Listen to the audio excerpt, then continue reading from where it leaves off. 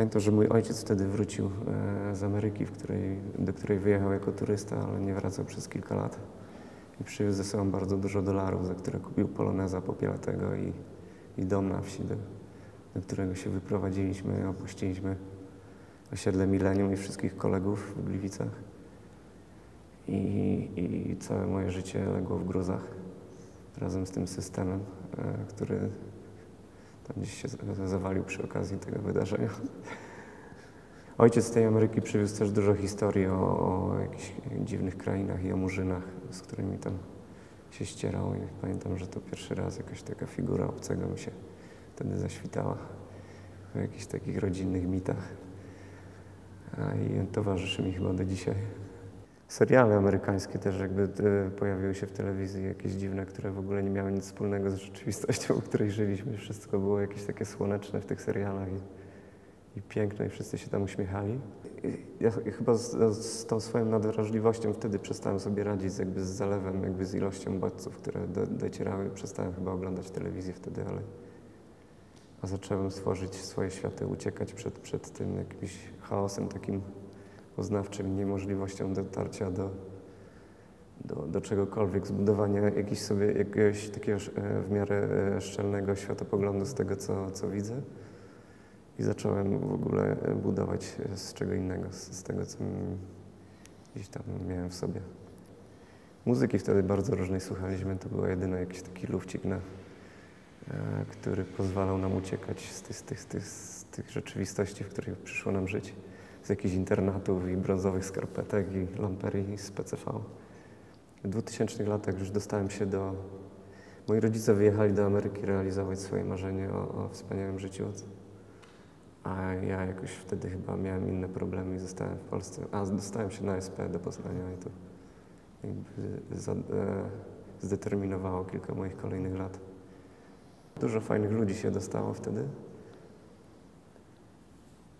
I jakby powstało środowisko, to jest jakiś taki, taki fenomen, że, że nie wiadomo od czego to zależało. W każdym razie wszyscy się ze sobą spotykali, nawet nie kłóciliśmy się wtedy za bardzo ze sobą.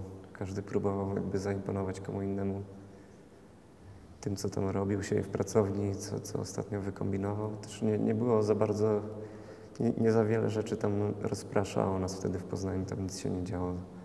A szkoła była dosyć dobra, na, jak na tą skalę tutaj polską, to chyba najlepsza wtedy. Z aktywnymi artystami, którzy wykładali tam. Z Dominikiem Lejmanem, Mirkiem Bałką. Ja miałem szczęście u profesora Kałuckiego studiować, który niczego mnie nie nauczył, po prostu kazał mi malować. Ja tam rzadko się pojawiałem bardzo, ale był super, super panem. Chyba jednym z niewielu idoli. Zbyszek Trzeciakowski, który opowiadał nam, w zasadzie niczego nie egzekwował, tylko opowiadał nam swoje sny albo o tym, jak dostał zapalenia płuc na, e, w Dolinie Śmierci, gdzieś tam w Kalifornii. To były jakieś światy, o których ja nie miałem najmniejszego pojęcia. Opowiadał nam o, o Zbyszku Liberze, o takich historiach, które miały wtedy znaczenie. Ale wtedy bardziej do tego wszystkiego się w kontrze jakby ustawialiśmy. E, swoje stanowisko jakby w opozycji do tego, co, co, co dominowało w sztuce polskiej lat 90. Wiedzieliśmy, że nie jest super i jakby, że trzeba być krytycznym i jakby to nawet nie na poziomie świadomym się odbywało w, na, w naszych decyzjach. Ale chyba, chyba, chyba ta sztuka wydawała nam się trochę zbyt poważna. Myślę, że nie mówię tylko o sobie, ale jeżeli mówić o rzeczach e, poważnych, to chyba nie można wtedy byliśmy przekonani, że nie można na poważnie o tym mówić, żeby, żeby nie popaść w jakiś patos. Czy coś z tych kontrowersji z lat 90., które związane były z arty- ze sztuką, trafiało do, Ze sztuką? docierały w jakiś sposób do ciebie? Pamiętam tę zawie, zawieruchę z e, Nieznalską. Ja nie pochwalałem tego, co ona robi, że, że genitalia wiesza na krzyżu. Ja bardzo się tym nie interesowałem, ani nie wnikałem, ale nie szanowałem tego. To była właśnie sztuka, której nie lubiłem. Pamiętam, że Kozyry, praca Piramida Zwierząt, to raczej właśnie takie ikony, ikoniczne e, dzieła do mnie wtedy, do mojej świadomości docierały. Mocno się w to nie wczuwałem. Ale ta praca akurat mi się podobała i później kilka razy się do niej odnosiłem, namalowałem kilka obrazów o takich piramidach z różnych stworów, ale mając w pamięci gdzieś tam w tyle głowy właśnie, to był chyba jej dyplom, nie? Tak. Performance wydawał nam się totalnie skompromitowanym medium, wtedy kojarzył się z jakimiś nagością i podpalaniem sobie włosów, było pokazywaniem organów, a, a, a i to jest takim ciężarem niepotrzebnym, więc wróciliśmy do rzeźby, do malarstwa, do jakichś takich wtedy zapomnianych mediów. Czy muzyka pozostaje dla Ciebie takim ważnym kontekstem tego, tak, co chyba robisz? tak. Jednym z najważniejszych. Ostatnio gdzieś wpadłem w jakąś taką niszę zespołów z południa Stanów, które nie- sam nie wiem, czy istnieją naprawdę. To się nazywa chyba Trap albo Chop and Screw. Ja pracuję trochę w ten sposób, jak oni tworzą muzykę, że robię, robię jakieś tam znalezione rzeczy na kawałki i sklejam z tego jakieś skomplikowane systemy, które chciałbym, żeby miały sens i działały i się tam te trybiki nie zacierały zbyt często. I oni też tak robią. Zwalniają, przyspieszają, dodają od siebie jakieś tam krzyki i jazgot. To jest w sumie skoczna muzyka, tak jak moje malarstwo. Jest też skoczne.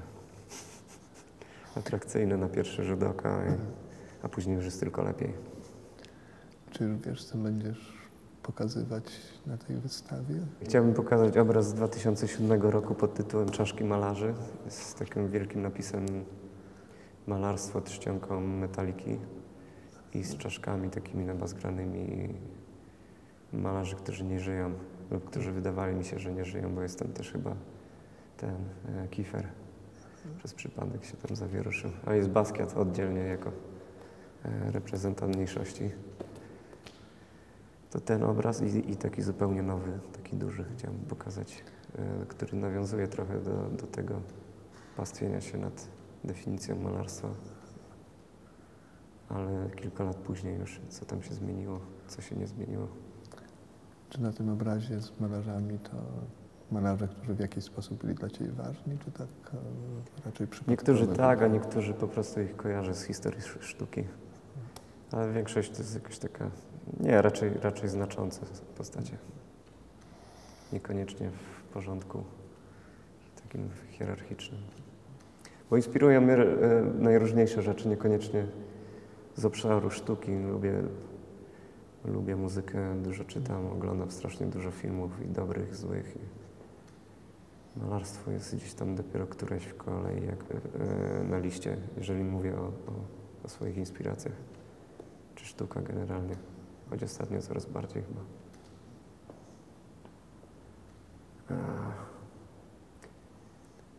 A jeżeli mówię o malarstwie, to, to coraz bardziej jest jakby umowny termin, bo to wszystko zaczyna po okresie, jak, jak, jak, jak, jak upakowałem całe rzeczywistości, jakieś tam e, mitologie po, po, pokrzyżowane czy zbastardyzowane na, na, na jakieś niewielkie płótna, to teraz odwrotnie to się dzieje i one się wylewają, wylewają. Ciągle myślę o tym, jak o, o malarstwie i nie umiem jakby podejmować decyzji inaczej niż jako malarz. Więc nie nazywam tego instalacjami czy obiektami. Ciągle myślę o tym jako o czymś, co wy, wyłazi z, 2, z 2D. Jest jakimś tam 2,5D powiedzmy, nie 3D. Ale coraz częściej to jest jakiś, e, gdzieś się odrywa od ściany czy od tafli płótna. Jest powtórzonym cytatem, jak obraz jest cytatem jakiejś rzeczywistości, to te rzeczy są cytatem z obrazu. Jakoś przyjmują kolejne klamry, cudzysłowo. Więc jest jeszcze fajniejszy, bo zupełnie już nie wiadomo o co chodzi. Komplikuje widzowi odbiór i sprawia mi dużo frajdy. Tam wodzenie go w jakiejś manowce, po manowcach. I badanie jego jakby wrażliwości czy braku wrażliwości. E, Wykształcenia, otwartości na coś innego, nowego. Założyliśmy grupę Penerso, która, o której się mówiło, że to jest sztuka nie z głowy, tylko z brzucha. Gdzie, gdzieś bardziej chodziło o ciarki, jakieś mróweczki na karku, niż o, o intelektualne doznania związane z tym, że przeczytałem siedem książek, których echa dostrzegam w, w tym konkretnym dziele. A nasza sztuka była wtedy prymitywna i znaczy dalej w sumie jest na jakimś tam poziomie takim czysto wizualnym, przynajmniej u mnie pozostała. Mm, taka super pop, trash, trashowa i, i folkowa i odnosząca się, odwołująca się do takich naj, najniższych instynktów i przyjemności. I jeżeli ktoś tam y, super mocno się w to nie wczuje, no to mu to wystarczy i jest zadowolony, a, a, a czasem mu teraz doświadczam odbiorcy, do, dostarczam odbiorcy jakichś innych ładunków, które operują już na trochę innych rejestrach, ale to tak trochę niby przy okazji z zawstydzeniem niejakim.